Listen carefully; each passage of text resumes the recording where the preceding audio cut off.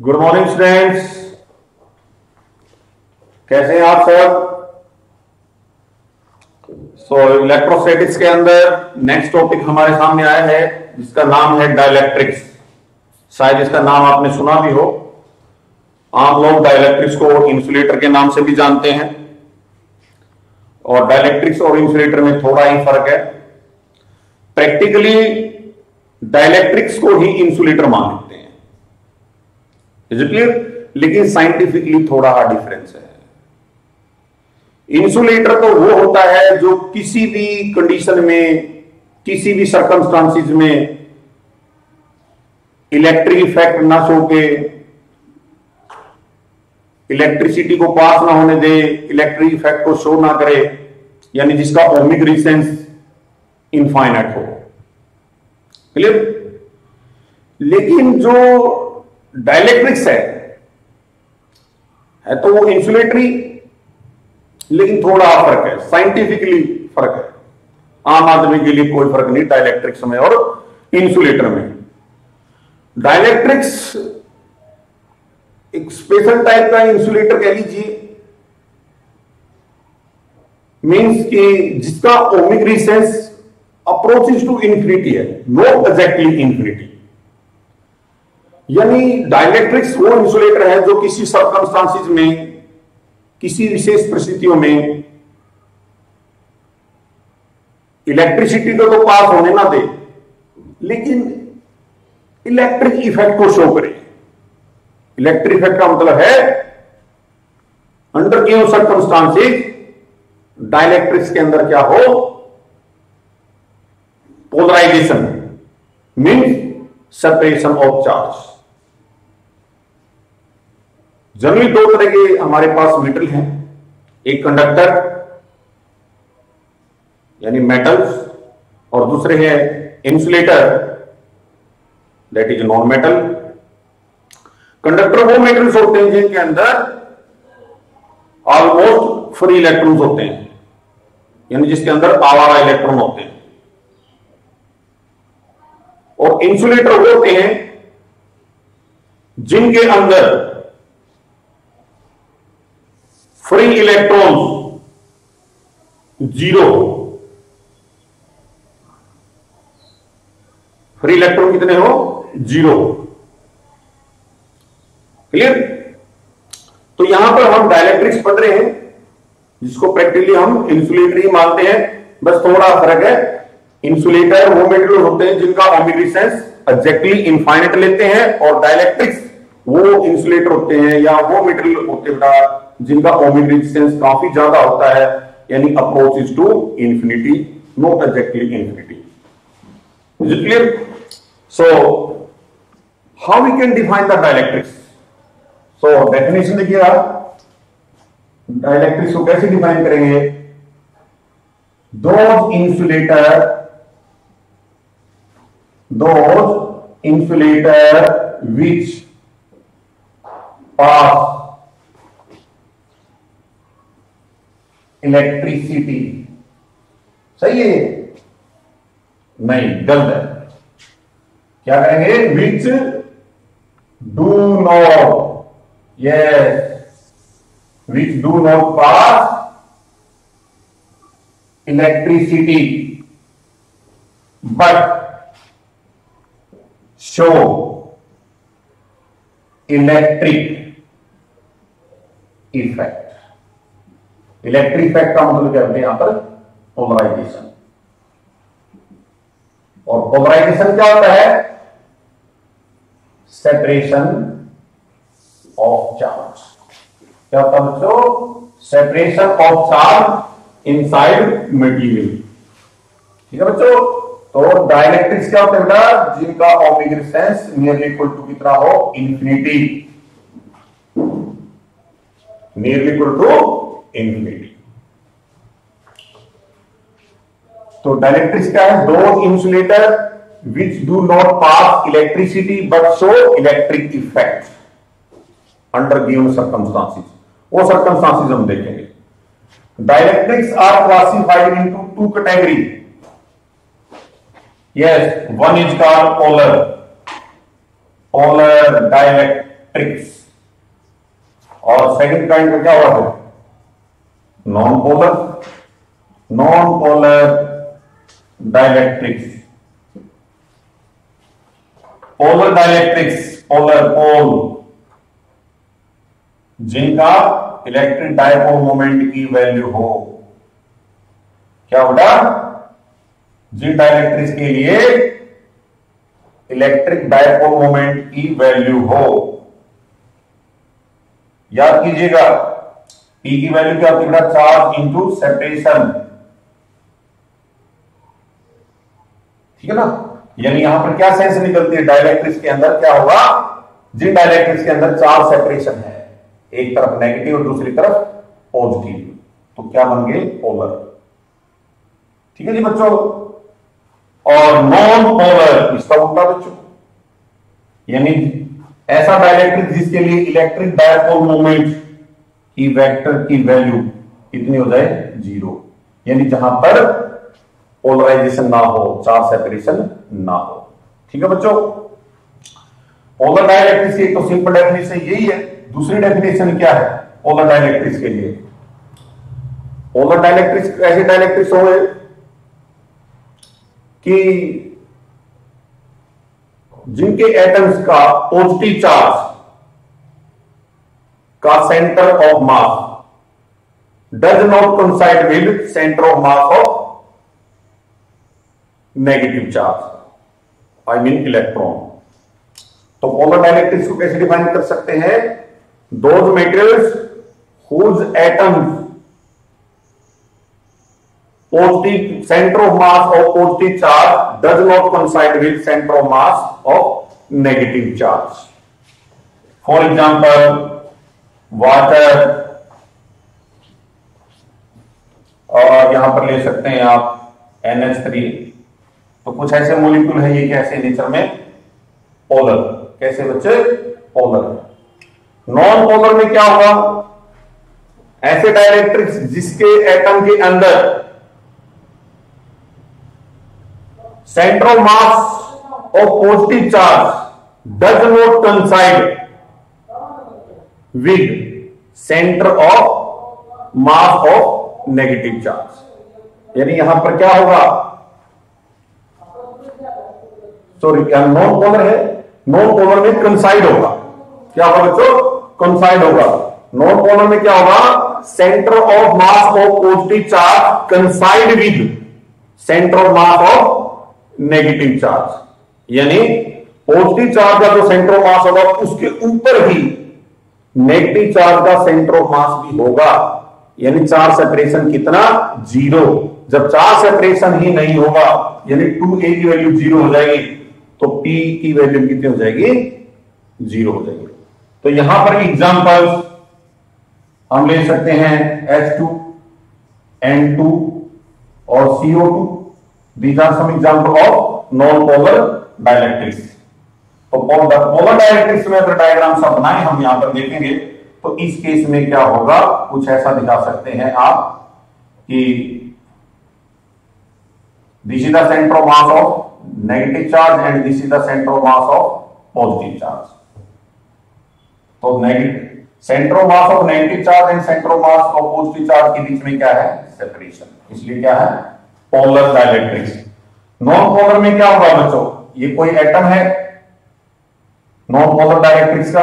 तो यहाँ पर क्या होगा नेगेटिव चार्ज का जो सेंटर मास है exactly coincide with centre mass of positive charge यानी नेगेटिव चार्ज का जो सेंटर मास है that is coincide with centre mass of positive charge यानी चार्ज सेपरेशन कितना है? चार्ज सेपरेशन यहाँ कितना है? ज़ीरो टू ए की वैल्यू कितनी है? ज़ीरो शो हो रही है। तो यहाँ पी की वैल्यू कितनी हो जाएगी? ज़ीरो हो जाएगी। ठीक है बच्चों? लेकिन कुछ सर्कमस्टांसिस ऐसी है जिसमें नॉन पोलर को पोलर बनाया जा सकता है। जैसे यही मोलिक्यूल देख लीजिएगा आप। इसको एक्सटर्नल इलेक्ट्रिक फ़ील्ड के अंदर ये इलेक्ट्रिक फ़ील्ड हमने सेटअप कर ली। एक कंडक्टर को पॉजिटिव चार्ज कर दिया और एक कंडक्टर को नेगेटिव चार्ज कर दिया। यानी एक से इलेक्ट्रॉन निकाल दिए और एक के अंदर इलेक्ट्रॉन डाल लिए। तो इस स्पेस में इलेक्ट्रिक फ़ील्ड सेटअप होगी।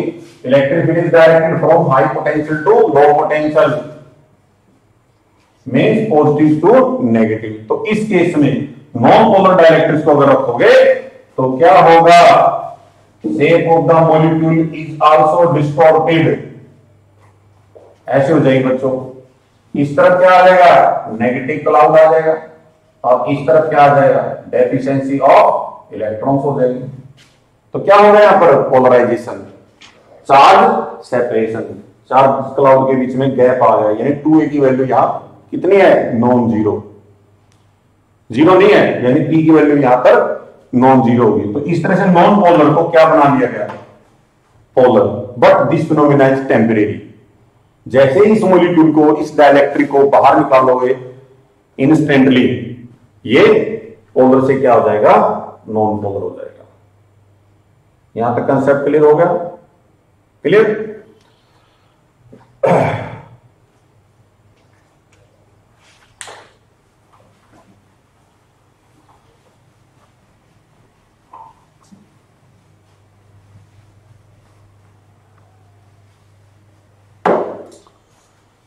is non polar dielectric slab in electric field से ई नोट नॉन पोलर कैसा है? नॉन पोलर टाइप का डायलैक्ट्रिक है। स्लैब है। Slab like a glass slab होती है लाइक ए मैच बॉक्स ठीक है ना? Cuboid glass suppose that this is the representation of external electric field, directed from left to right तो ये प्लेट पॉजिटिव चार्ज है बच्चों? और ये हमारे पास नेगेटिव है। इलेक्ट्रिक फ़ील्ड सेटअप क्लियर तो दोनों के बीच का डिस्टेंस कितना बच्चों से डी है? इसके अंदर हमने क्या पुट कर दी है? क्या नॉन पोलर डाइलेक्ट्रिक स्लैब और यहाँ कह दे तो glass slab because glass is a example of dielectric ये है तो जैसे ही non polar dielectric glass slab को इलेक्ट्रिक फ़ील्ड के अंदर रखते हैं। तो इसके सभी के सभी जो एटम्स है, वो क्या हो जाएँगे? डिस्टोर्टेड हो जाएँगे, ऐसे। ऐसे डिस्टोर्टेड हो जाएँगे। क्यों हो जाएँगे? Due to under the influence of external electric field external electric field के अंदर जैसे रखेंगे तो सभी के सभी चार्जेस क्या फील करेंगे? कोलंबिक फोर्स फील करेंगे। यानी इस तरफ़ नेगेटिव क्लाउड इस तरफ़ positive negative positive negative positive ये क्या हो जाएगा फिर? Negative positive negative positive negative positive ये नेगेटिव ये बच्चे पॉजिटिव ये नेगेटिव ये पॉजिटिव यानी जैसे ही ग्लास स्लैब को हमने इलेक्ट्रिक फ़ील्ड के अंदर इंट्रोड्यूस किया तो इंस्टेंटली सभी के सभी एटम्स हैं, वो क्या हो गए हैं? डिस्टॉर्टेड हो गए under the influence of electric force influence of electric field तो देखने में क्या आया कि यहाँ पर देखेंगे आप, इस डॉटेड लाइन के अंदर नेट चार्ज कितना बेटे ज़ीरो क्या है? नेट चार्ज कितना हो जाता है? ज़ीरो हो जाता है। तो इनसाइड नेट चार्ज ज़ीरो तो इसका मतलब क्या है? जो एक्सटर्नल इलेक्ट्रिक फ़ील्ड हमने लगाई थी E naught that is directed from left to right और ये हमारे पास ग्लास लैब है बच्चों तो कैसा ही सिचुएशन देखने को मिलेगी आपको? कुछ ऐसा देखने को मिलेगा कि ग्लास लैब के इस फेस पर कैसी पोलैरिटी आ जाएगी चार्ज नेगेटिव और इस फेस पर कैसी पोलैरिटी आ जाएगी बेटा positive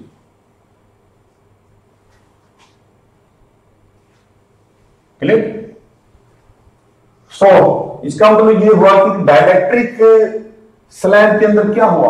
Polarization separation of the charge तो डायलेक्ट्रिक स्लैब के अंदर एक इलेक्ट्रिक फ़ील्ड सेटअप हो जाती है temporary due to polarization of charge and electric field is always directed from positive to negative. Say this is called ep field field to polarization. ठीक है, प्यारे बच्चों?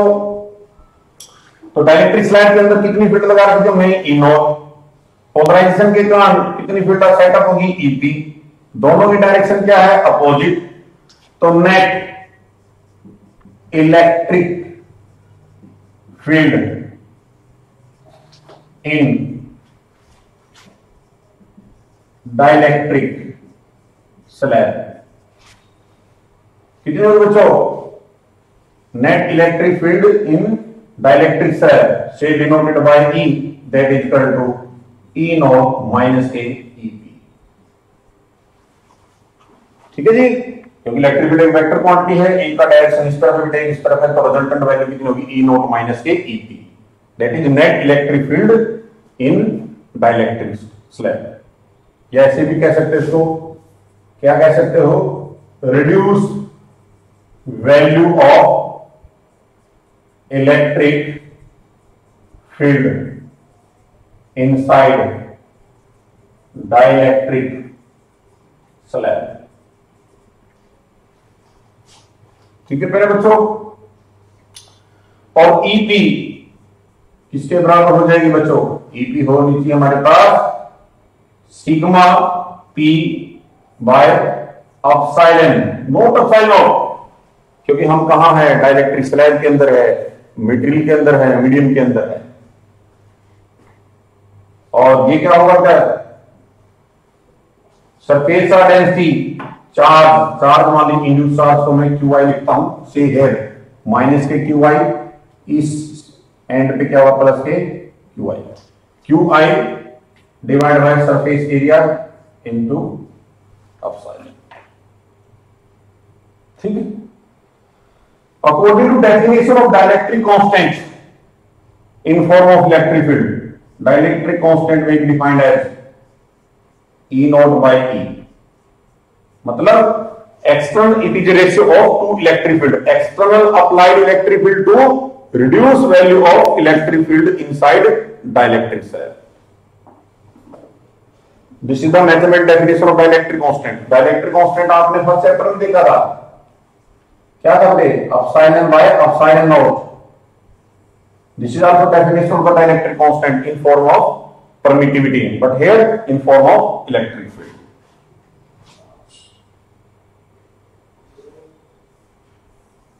यहाँ तक क्लियर सब बच्चों को? गुड तो इस फिनोमिना से रिलेटेड हम कुछ एक दो डेफिनेशन और एक्सप्लेन करें यहाँ पर. Let's C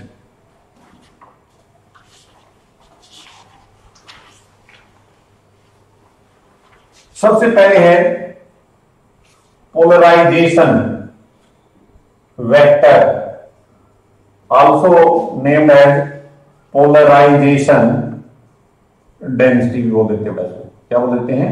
Density denoted by P polarization vector या पोलराइजेशन डेंसिटी इसको मैथमेटिक डिफाइन करते हैं it is induce dipole moment per unit volume induce dipole moment Q I into D, charge into separation between charge clear per unit volume volume क्या होगा बच्चों? Surface area into distance जो electric field हमने set की थी conductor की plate से, उसका सरफेस एरिया कितना बच्चों? ए दोनों बीच में सेपरेशन कितना है? D that is A D D से D cancel Q I by A और क्यू बाई ए आप देख सकते हैं क्या बनेगा?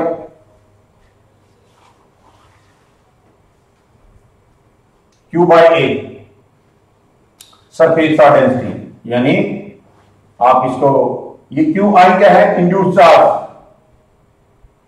यानी charge develop due to polarization तो इसको हम क्या कह सकते हैं? सिग्मा पी कह दो, या आप सिग्मा आई भी कह सकते हैं। एक ही बात है। ठीक है? जो चार्ज इंड्यूस हुआ है ड्यू टू पोलराइजेशन हुआ। तो P is like this clear तो reduce value of electric field कितना आ गया बच्चों? E naught minus K E P यानी ई नॉट ईपी की वैल्यू कितनी होगी बच्चों? Sigma P by epsilon that is to E naught minus K sigma P की वैल्यू कितनी बच्चों? पी पी बाय एप्सिलॉन तो next version of reduce value electric field is E naught minus K P by epsilon इसका हम use करेंगे। That is important relation is it clear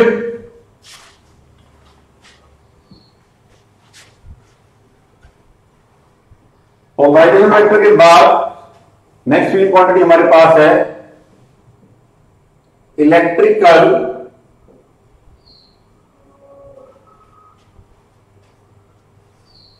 susceptibility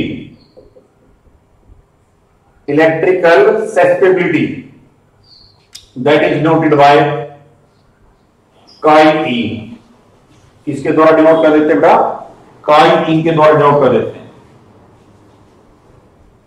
On the basis of the observation, it is found out that polarization vector P is directly proportional to epsilon times of the reduced value of electric field inside a dielectric. P is equal to proportionally sign a triangle that put a proportionality constant say chi e that is called electrical susceptibility epsilon into E. So this is the relation between P and E. Clear? So that is the one another formula for polarization vector. यहाँ तक clear है बच्चों को तो इतनी सारी relation के basis पे let obtain yes relation between k and chi e open relation between dielectric constant and electrical susceptibility as we know that e is equal to e naught minus k p by epsilon that is equal to e naught minus k p P की वैल्यू feed करेंगे बच्चों। P की value कितनी आएगी यहाँ से? Car E epsilon E divide by epsilon तो एफ़ साइलन से एफ़ साइलन कैंसल तो हमारे पास क्या है E is equal to E naught minus K chi E into ई इसको इधर लेके आएँगे तो one plus K chi E into E equal to E naught सही है?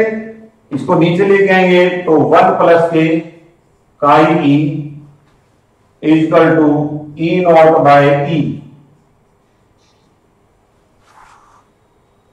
और what is this e naught by e this is the value of dielectric constant. So 1 plus k chi e is equal to yes k. So this is the relation between what electrical susceptibility and dielectric constant. तो ये result है बड़े important है बच्चों ये result आप ध्यान रखिएगा ठीक है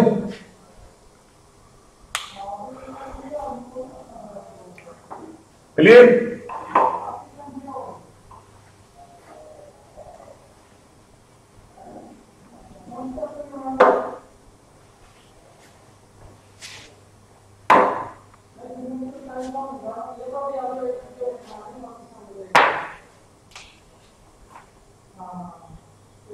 next we discuss common potential. Say denoted by capital V. जैसा नाम, वैसा काम कॉमन एक जैसा. कॉमन का मतलब क्या होता है? एक जैसा. ठीक है बच्चों? जैसे एक कंडक्टर ये बेटा दूसरा कंडक्टर ये है. इसका पोटेंशियल V1 है. और इसके ऊपर चार्ज को दैट Q1 है. चार्ज होल्डिंग कैपेसिटी C1 है। सिमिलरली ये V2 है। इस पे चार्ज Q2 है। इसकी चार्ज होल्डिंग कैपेसिटी C2 है। ठीक है? बिफोर शेयरिंग शेयरिंग से पहले देख लो।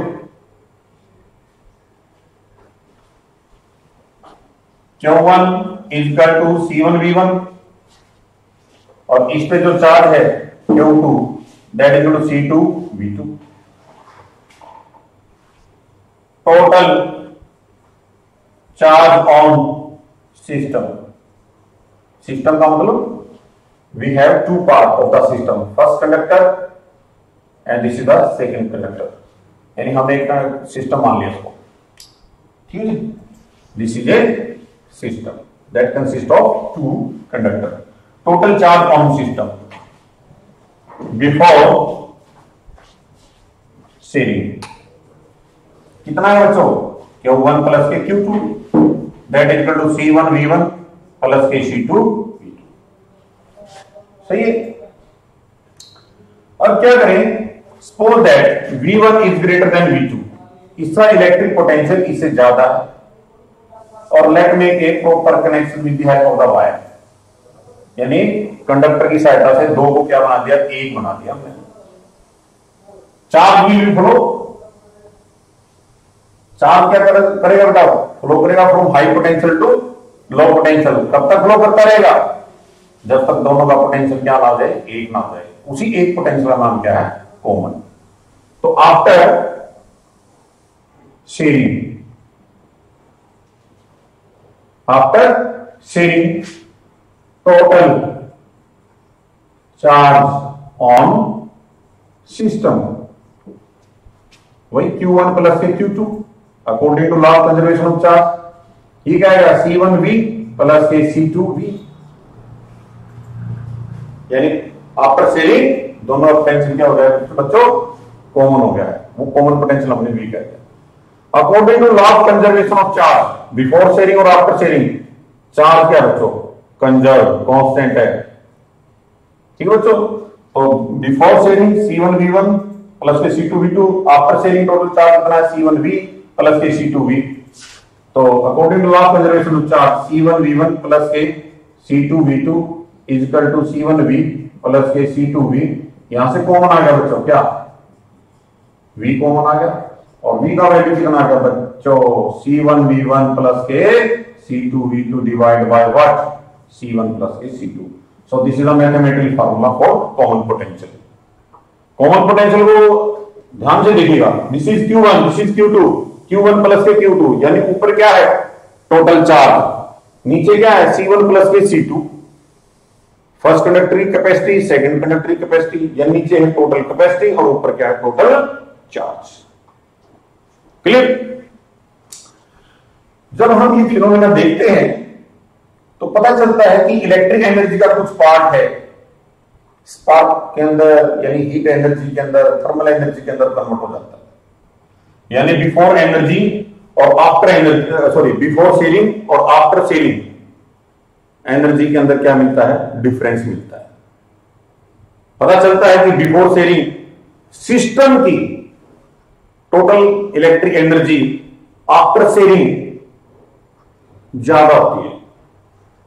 आफ्टर शेयरिंग से ज़्यादा होती है। यानी एनर्जी का क्या हो गया है? लॉस कैसे हुआ लॉस जब हमने दोनों अलग अलग पोटेंशियल कंडक्टर को जोड़ा तो कुछ इलेक्ट्रिक एनर्जी का पार्ट स्पार्क के अंदर हीट की फॉर्म के अंदर, या radiation I mean thermal way से एनर्जी क्या हो गई है? रिड्यूस होगी।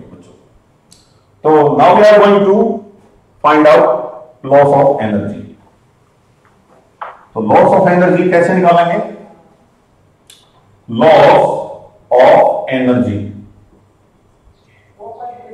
loss of energy का मतलब क्या है? कि initial electric energy of system is greater than final kinetic energy sorry final electric energy of system initial electric energy of system मतलब before sharing electric energy of system ये क्या है? Final electric energy of system means after sharing of two conductor electric energy में E है। तो loss कैसे होता है बच्चों? होता है? लॉस जब पहले ज़्यादा और बाद में क्या होता है? कम। तो लॉस क्या होगा बच्चों? लॉस किसको रिप्रेजेंट करता है। E i is greater than E f यानी दोनों का डिफरेंस जो आएगा, वो क्या होना चाहिए? क्या होना चाहिए बच्चों? ग्रेटर देन ज़ीरो यानी दोनों का डिफरेंस क्या होना चाहिए? पॉजिटिव तभी तो क्या हुआ? लॉस क्या हुआ बच्चों? Loss of electric energy in form of other type of energy यानी यहाँ पर क्या है? Transformation of energy transformation of energy देखने को मिलता है। तो बच्चों initial kinetic initial electric energy of the system क्या होगी? One by two C one plus के सी टू ठीक है बच्चों? सी वन प्लस के सी टू और यहाँ क्या आ जाएगा हमारे पास? अलग अलग करके निकाल लेता हूँ। पहले कनेक्टरी one by two C one V one square plus के one by two C two V two square this the formula for energy initial पहले कंडक्टर ही, दूसरे conductor after this final one by two C one V का square plus के one by two C two V का ये समझ बात आपको? है ना? क्योंकि आपका शेयरिंग पोटेंशियल क्या हो जाता है? कॉमन हो जाता है। ठीक कितना हो जाता है बच्चों one by two C one one by two plus के सी टू और ये आ गया वी स्क्वेयर और one by two C one plus के C two V square V की वैल्यू यहाँ से लो बेटा C one V one plus के C two V two divide by C one plus के सी टू का ऐसे बन गई क्लियर तो लॉस निकालना बच्चों। लॉस कैसे आएगा? यस इनिशियल माइनस के फाइनल इनिशियल कितने बच्चों? One by two C one V one square plus के one by two C two V two square minus के माइनस के yes one by two C one plus के C two. और ये क्या गया? C one V one plus के C two V two divide by C one plus के C to का स्क्वायर। ठीक है बच्चों? इसको आप ऐसे लिख सकते हो, वन बाय टू कॉमन ले लो। ठीक है? अब डिफरेंस करेंगे बेटा। तो मैं डायरेक्ट लिख देता हूँ। आप इसको कैलकुलेट कर सकते हैं। तो आंसर आएगा one by two C one C two divide by C one plus के C two V one minus के वी टू का होल स्क्वेयर इतना एनर्जी आएगा। दोनों का डिफरेंस इतना होगा। और ये वैल्यू पॉजिटिव है ज़ीरो से बड़ी है तो definitely there will be a loss यानी ये वैल्यू पॉजिटिव आने का मतलब क्या है? E i is greater than E f sharing से पहले सिस्टम की एनर्जी ज़्यादा थी शेयरिंग के बाद एनर्जी क्या हुई है? कम हो गई है। यानी इलेक्ट्रिक एनर्जी का क्या हो गया है? ट्रांसफॉर्मेशन हो गया है। एंड इलेक्ट्रिक एनर्जी का कुछ पार्ट है। दूसरी टाइप की एनर्जी के अंदर कन्वर्ट हो गया है। क्लियर यहाँ तक क्लियर हो गया सब बच्चों को? Good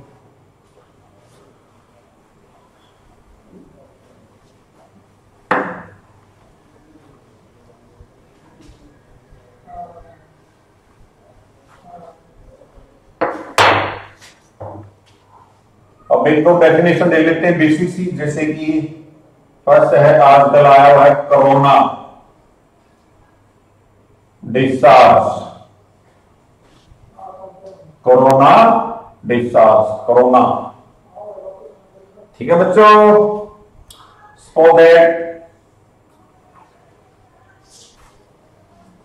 corona discharge corona discharge का मतलब क्या है? कि किसी भी नॉन कंडक्टिंग को कंडक्टिंग करना। यानी जैसे कि एयर मोलिक्यूल है आपके, वो नॉन कंडक्टिंग है, लेकिन किसी सर्कमस्टांसिस में एयर मोलिक्यूल भी कंडक्टर की तरह बिहेव करते हैं। ठीक है जी? देखते हैं, यहाँ पर सीखते हैं। कोरोना डिस्चार्ज मीन्स यहाँ पर क्या होगा? सात पॉइंट एक्शन ये पढ़ेंगे। सात पॉइंट एक्शन मतलब क्या देखते हैं?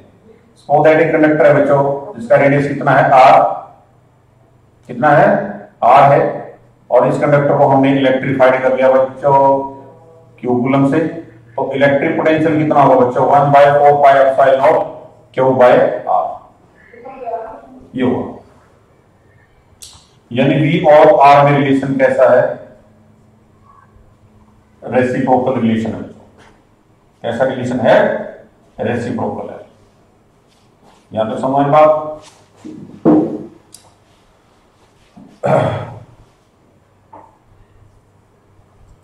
तो यहाँ देखने वाली बात यह भी है कि इसको हम ऐसे लिख सकते हैं। Electric potential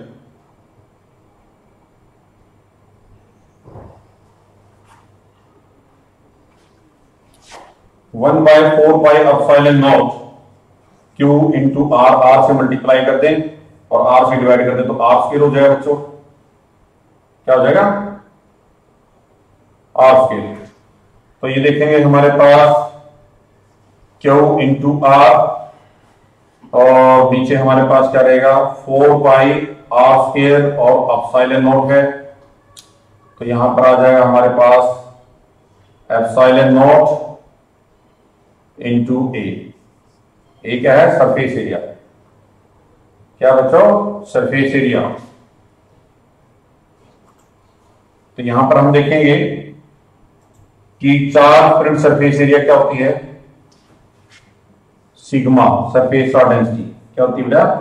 Surface charge density sigma is called surface charge density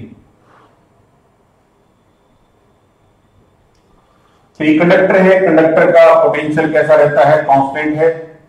तो कांस्टेंट रहेगा तो सिग्मा आर का प्रोडक्ट क्या रहेगा कांस्टेंट रहेगा और sigma is inversely proportional to R sigma is inversely proportional to R for a conductor यानी R क्या है? रेडियस तो जितना ज़्यादा रेडियस होगा, उतना ही क्या होगा? साइज़ बढ़ेगा। जितना रेडियस कम होगा साइज़ कम होगा। तो जैसे देखते हैं बच्चों, अगर इसका छोटा पार्ट लेता हूँ मैं ऐसे तो कोई रेडियस इसका दैट आर अगर मैं ऐसे कर देता हूँ तो रेडियस की वैल्यू क्या हो जाती है? कम हो जाती है और ऐसे कर देता हूँ तो रेडियस की वैल्यू और कम हो जाती है, और ऐसे कर देता हूँ तो रेडियस की वैल्यू और कम हो जाती है। तो कंडक्टर को इस शेप में डाला गया है रेडियस क्या हो रहा है बच्चों? डिक्रीज रेडियस क्या हो रहा है बच्चों? डिक्रीज यानी आर क्या हो रहा है? डिक्रीज और सिग्मा क्या हो रहा है बेटा? इंक्रीज ठीक है? तो सिग्मा इंक्रीज होने का मतलब क्या है? कंडक्टर का ये सरफेस कैसा हो गया है? नुकीला सार। क्या था बेटा सार। तो जब भी किसी कंडक्टर को हम बाहर से चार्ज देते हैं, चार्ज का स्प्रे करते हैं तो सबसे ज़्यादा चार्ज कहाँ ठहरता है? नुकीले सिरे पे ठहरता है। नुकीले सिरे पे चार्ज ज़्यादा होता है। चार्ज ज़्यादा होने के कारण क्या होता है? सरफेस चार्ज डेंसिटी इंक्रीज होगी। सरफेस चार्ज डेंसिटी इंक्रीज होने से क्या होती है? इलेक्ट्रिक फ़ील्ड बढ़ जाती है। क्या हो जाती है? इलेक्ट्रिक फ़ील्ड बढ़ जाती है। तो इलेक्ट्रिक फ़ील्ड अगर बढ़ जाती है तो यहाँ पर इलेक्ट्रोस्टैटिक प्रेशर अगर पी है तो एफ़ बाई ए होगा। एफ़ बाई ए होगा। तो यहाँ पर नुकीले सिरे का सरफेस एरिया क्या होता है? डिक्रीज सरफेस एरिया डिक्रीज होने से इलेक्ट्रोस्टैटिक प्रेशर बढ़ जाता है। इलेक्ट्रोस्टैटिक प्रेशर बढ़ने से क्या होगा? सारा का सारा चार्ज एटमोस्फियर में लीक हो जाता है। क्या हो जाएगा बच्चों? एटमोस्फियर में लीक हो जाएगा। तो जो नुकीला सिरा है वहाँ पर चार्ज डेंसिटी ज़्यादा होगी as compare to this type of conductor तो आसानी से चार्ज एक्यूमुलेट भी होगा और आसानी से चार्ज वहाँ से रिलीज़ भी होगा ड्यू टू इलेक्ट्रोस्टैटिक प्रेशर एरी सरफेस एरिया कम होने से। तो अगर कोई कंडक्टर ऐसा है, जिसकी कर्वेचर इक्वली है तो वो यूनिफॉर्मली चार्ज होगा। कैसा होगा यूनिफॉर्मली चार्ज। अगर कोई कंडक्टर बेटा ऐसा है तो उसके कॉर्नर पे चार्ज डेंसिटी ज़्यादा होगी as compare to other surface यानी नुकीले सिरे पर चार्ज डेंसिटी ज़्यादा होगी।